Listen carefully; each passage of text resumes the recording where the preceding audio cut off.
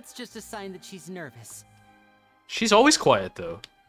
But okay, am I the only one whose dream has been to start a fucking slow clap? Like, or not my? It's not like my sole dream. It's not what I live for. But like, just imagine just starting a slow clap.